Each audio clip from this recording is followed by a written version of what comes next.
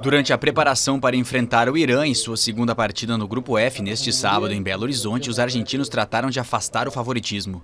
Em uma Copa cheia de surpresas, com a eliminação da atual campeã Espanha na primeira fase nesta quarta-feira, toda a cautela é necessária. Esse favoritismo que uno tiene o que todos hablan esse favoritismo que temos ou que todos falam de antemão tem de ser demonstrado em campo. Espero que possamos melhorar o que fizemos na partida anterior, em que prevaleceu o resultado e que com tudo isso possamos nos classificar. E ojalá que com tudo isso, se sucede, nos podamos classificar. Com uma vitória, os hermanos praticamente selam a ida para a segunda fase do torneio, já que Irã e Nigéria empataram no outro jogo da primeira rodada.